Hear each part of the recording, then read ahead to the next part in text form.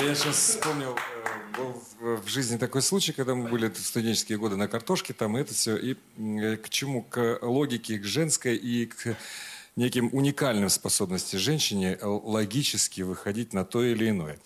А, Хозяйка, у которой мы останавливались, она э, рассказывала нам, как ее дочка Галя, она приходила занимать деньги.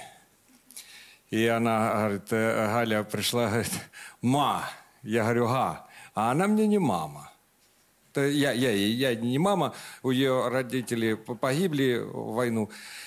Я, я ее удочерила, вот она меня э, э, ма- мамой зовет. И, э, приходит хитрая, приходит, говорит, ма, а я-то знаю, что она пришла. Она, она говорит, ма, я говорю, га. А у ей муж Толик, он тракторист. Он тракторист, он на тракторе работал.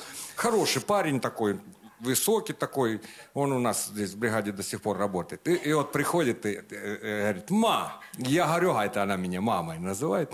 Говорит, «М, ма, я говорю. А Толик, он когда, э, э, когда на тракторе работал, он он э, трактор завалил в речку, и его там все судили, там три года дали, он отсидел, опять пришел, и опять работает, трудно зарабатывает.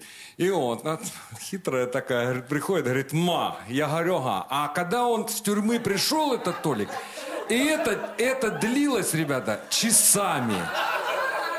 Часами. Вот это... Как, как, как, как можно было держать каждый раз одну и ту же мысль, но так витиево. Она рассказала всю, всю свою жизнь, как этот Толик...